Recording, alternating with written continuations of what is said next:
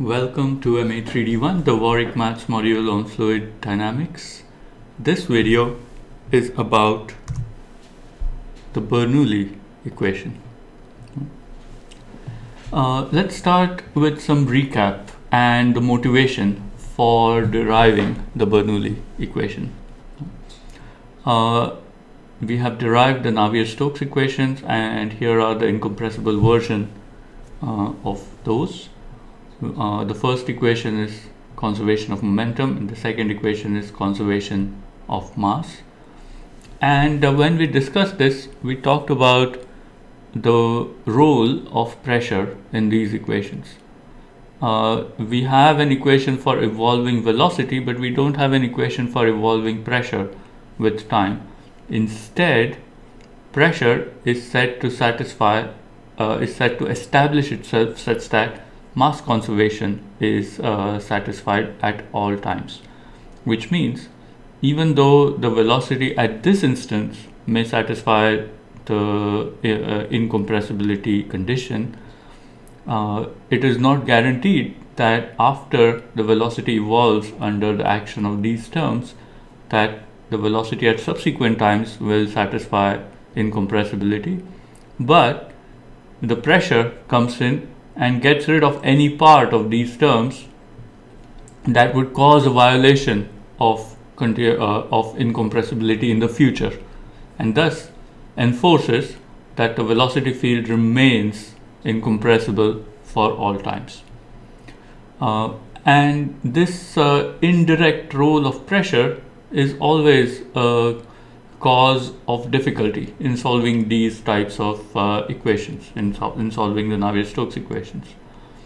Uh, the same problem also exists for the Euler equation, uh, in which case the viscosity, the coefficient of viscosity is zero and the fluid is inviscid.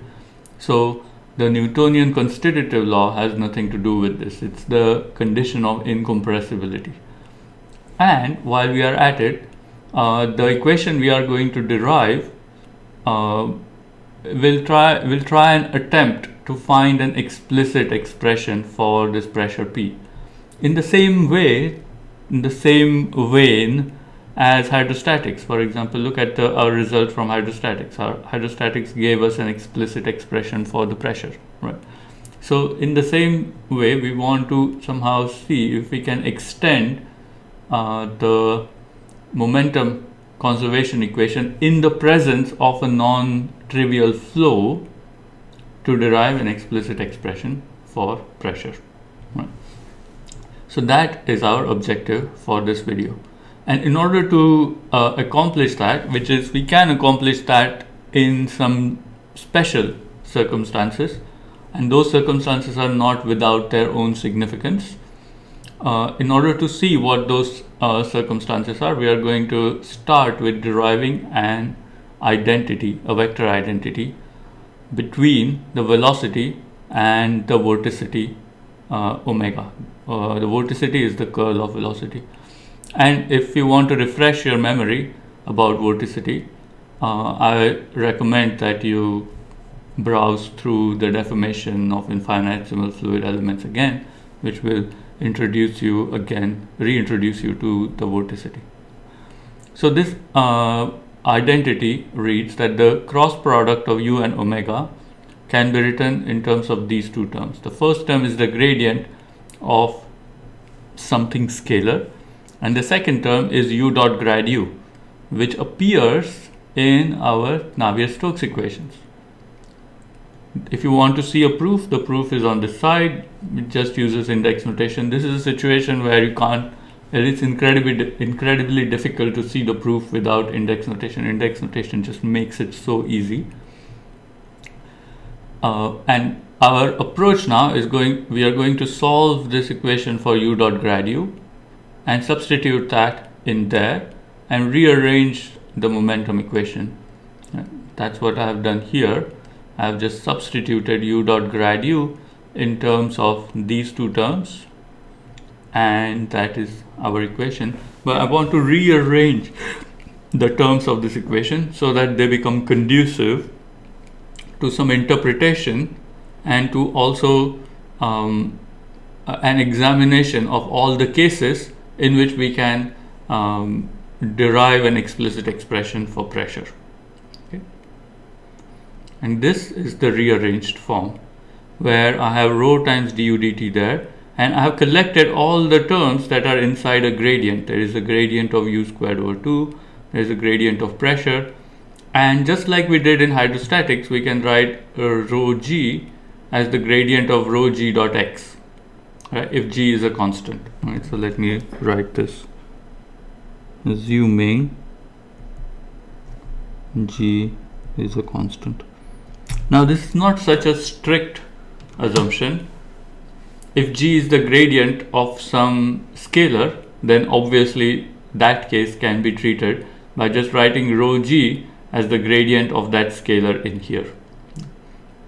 And the terms that remain are the viscous uh, term mu times del square u that's written there and uh, this term involving the cross product of vorticity with velocity u cross omega. So and I made an error there. This should have been a plus.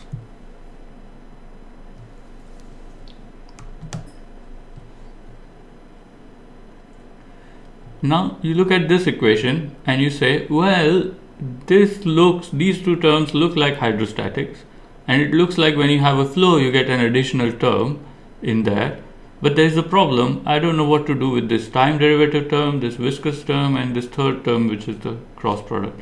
And if you stare at it long enough which is what uh, Daniel Bernoulli did he uh, we can come up with two possible cases in which this equation can be used to solve explicitly for pressure.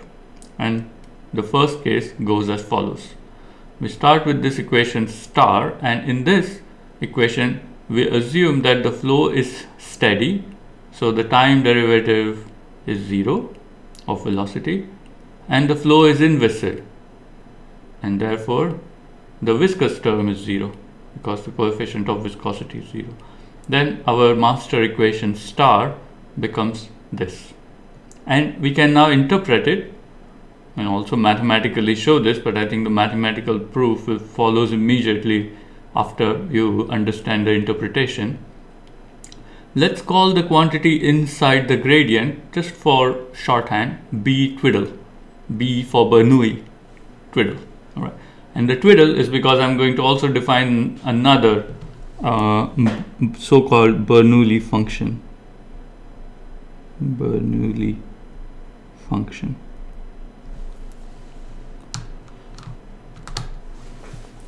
So I can interpret this equation as the following. B twiddle changes because I have a gradient here that means it has a rate of change. B twiddle changes only in the direction of the right hand side and the direction of the right hand side is the direction of the cross product of u cross omega which means the direction of the right hand side is perpendicular to both u and omega. That's the first interpretation. B twiddle changes only in that direction.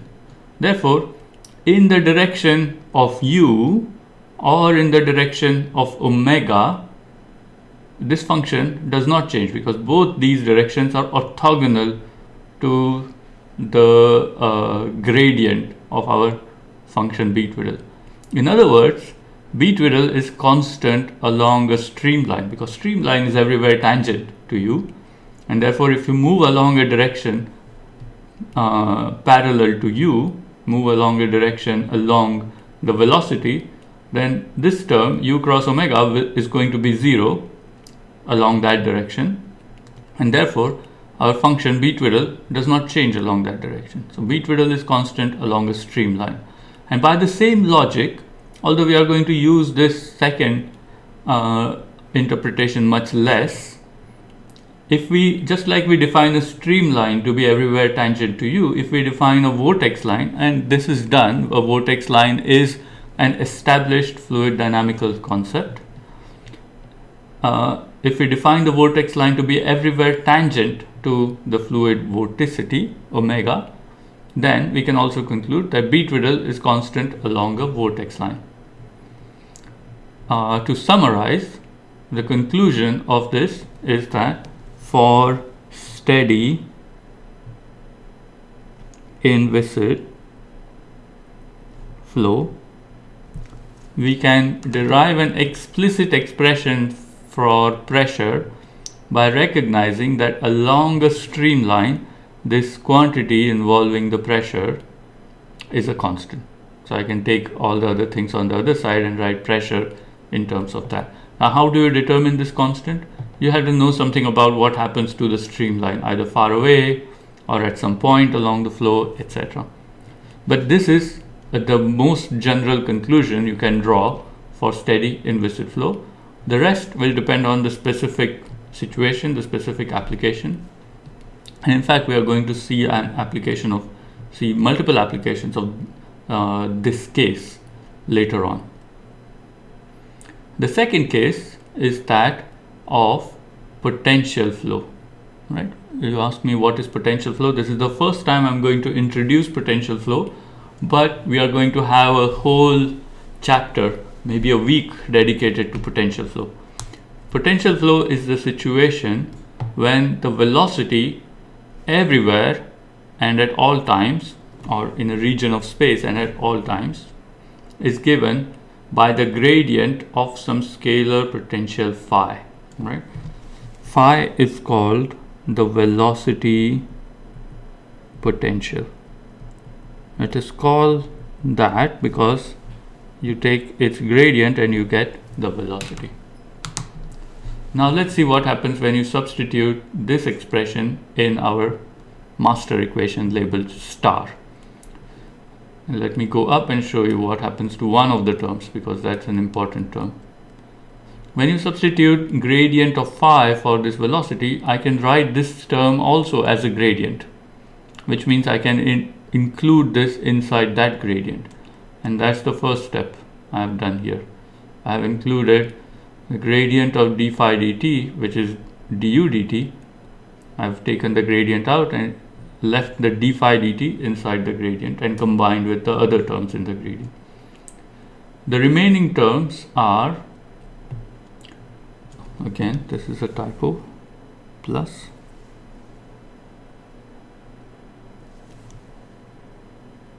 plus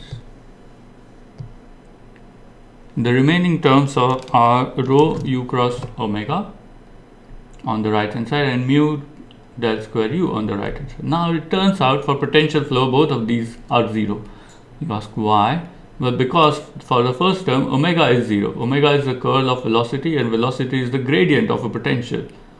And from a vector identity that says curl of a gradient is identically 0, omega is identically 0 which means this term vanishes. The second term we have to use uh, incompressibility when you use incompressibility and you substitute uh, the potential assumption, then we have del square of phi equals 0. And thus, when we try to substitute velocity as the gradient of potential in this term, we have del square of u is del square of gradient of phi, which is the gradient of del square of phi, but del square of phi is 0, so this term is also 0.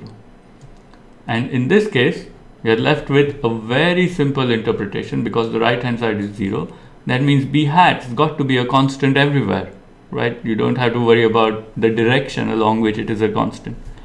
So b hat is a constant everywhere but the small caveat is that because this is this is an unsteady potential flow this the flow could vary with time.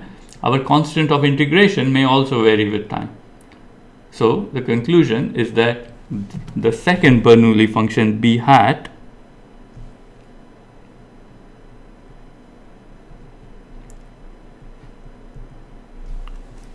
is only a function of time written the expression for b hat is written here is a function of time alone. And you'll have to figure out what this function of time is by knowing something about what happens at one point for example at infinity somewhere okay? Or at any special point about which you have some information.